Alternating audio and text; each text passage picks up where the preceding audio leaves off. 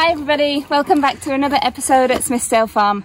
It's about 8pm and we're just starting work today because it's been an absolute scorcher. We're having the first heat wave of the year and it's been about 33 degrees today. I think that's about 91, 92 Fahrenheit. So it's been really, really hot. So we've spent the morning doing other jobs and now we're going to get on with the cabin build now that all of this is in shade and it's starting to get a little bit cooler. In this episode, we're going to be putting the roof onto the cabin. So we're going to be putting on some vapor barrier and then some battens and then also some corrugated steel on top. We're Danny and Kate, and this is Paco. We recently bought 12 acres of land in the Spanish mountains. Follow the journey as two DIY novices with tons of enthusiasm but not quite as much know-how. Renovate a small stone barn into the tiny house of our dreams and bring the land back into full production. But first, before we rip the roof off our brand new home, we need somewhere to stay. Welcome to the Cabin Build series.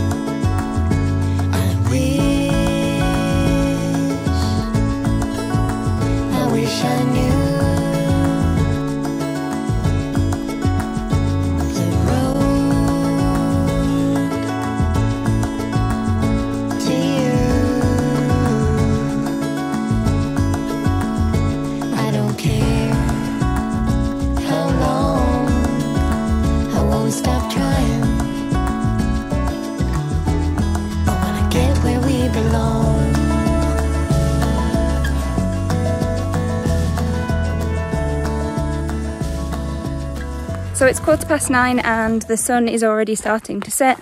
So we just quickly went through a couple of the measurements and things just to recheck everything um, and make sure everything's ready for tomorrow. So as most of you know, we drive back to Barcelona on Sundays, and so we usually have a few hours to kind of crack on and get work done. So we're going to try and do that in the morning um, and see if we can get the whole roof done.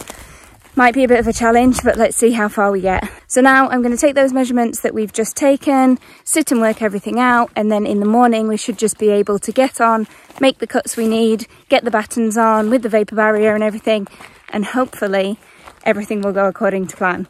Keep your fingers crossed for us.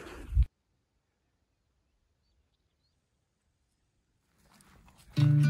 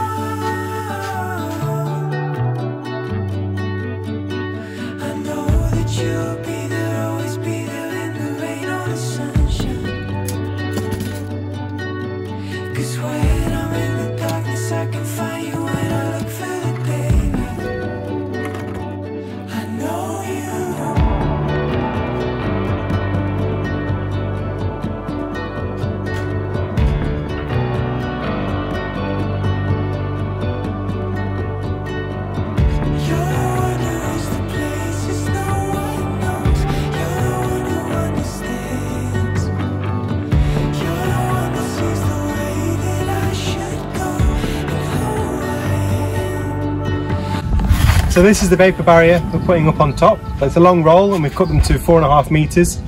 The roof space is 420, so we've got a bit of bit of overhang on either side. And then these are the battens we're putting on top. There are two meter battens, so we've got a bit of um, calculations to do to to make everything work and not have like overhangs in the middle. So in the centre of this piece here, we've got the two meters on either side, and in the centre we've got a it's 58 centimeter piece. And then this one we're going to do two meters, two meters, and then calculate the end piece just to stagger uh, where we've got that singular small piece. Well, yeah, we're going up. Basically, we've we've laid it on, folded it down so we can get to where we need to get to, um, and we'll keep working across, and then we'll work up that way. And probably the last ones we'll have to put on um, with the ladder on the outside. But it's um, it's going quite well, and it's nice to have a little bit of shade below us.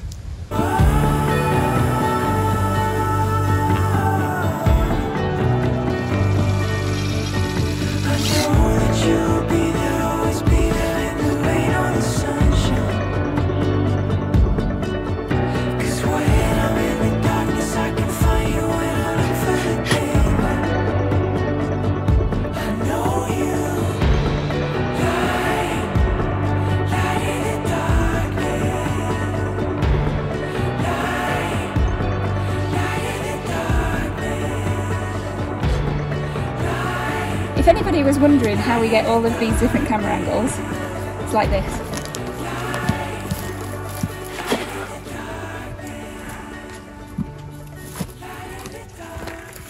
Like a mountain goat.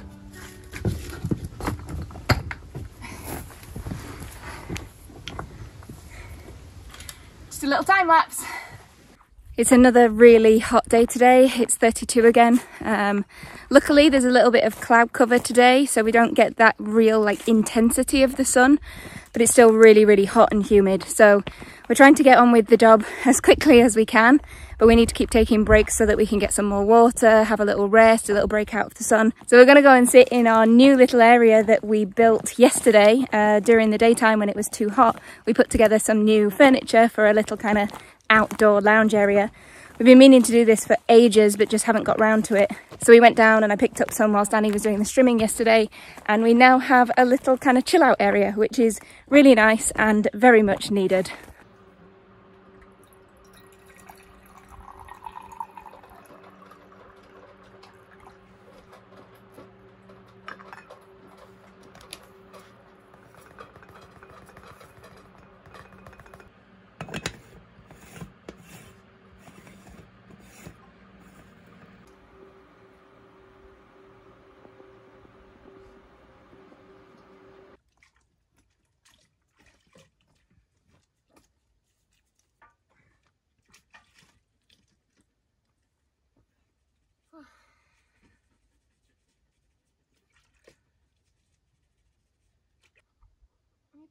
In one of our previous videos, we showed the grapevine that we uncovered when we were cleaning this area, and it's looking really good.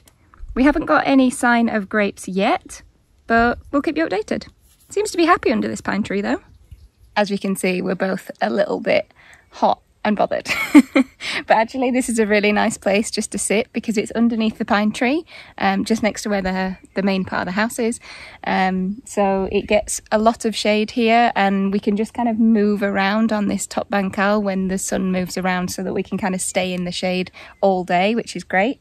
Um, we'll probably make it a bit more fancy in the future, but for now, it's something that works really nicely and just gives us somewhere to take a minute, take a breather, have a rest, and then get back to it. Good boy. Good boy, Paco.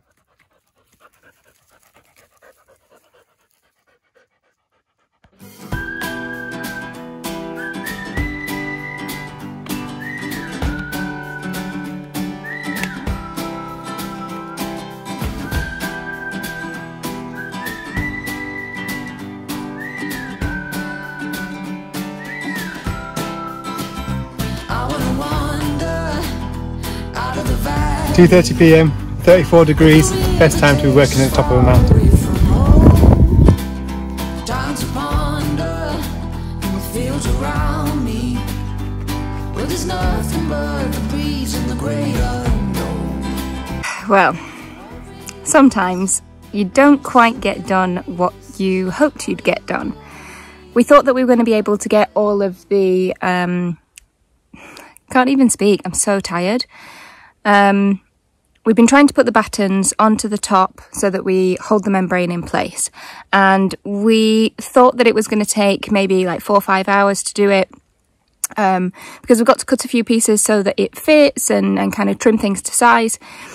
But it's just exhausting and the main reason for that is because it's so hot and it doesn't look particularly sunny right now um, luckily it's it's really overcast and it's quite um, it's quite cloudy now but it's been bouts of sunshine and and kind of chopping and changing all day and it's 34 degrees so even though it's not blistering sunshine it's still really really hot and our climate here is quite humid too so it just means that you're hot and sweaty and it's so much easier to make mistakes or, you know, a screw slips out of place and then it feels like so much more effort to kind of get it and put the next one in and whatever. And it's just absolutely exhausting. We're going to try and do this uh, one batten line that we've got here.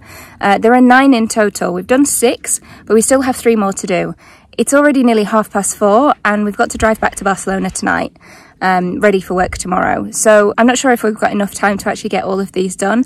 Probably not.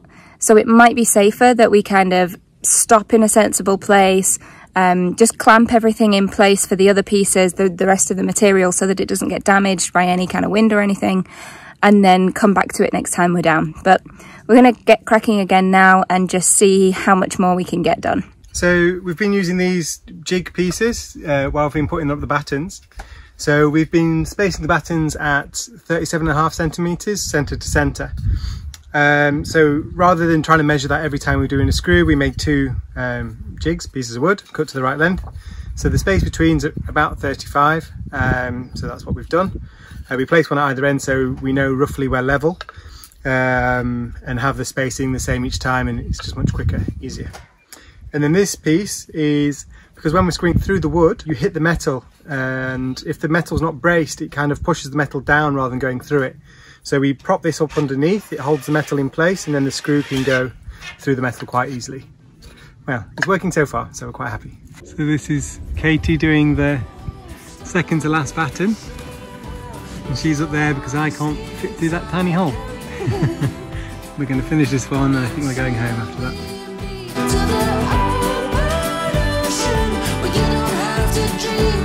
To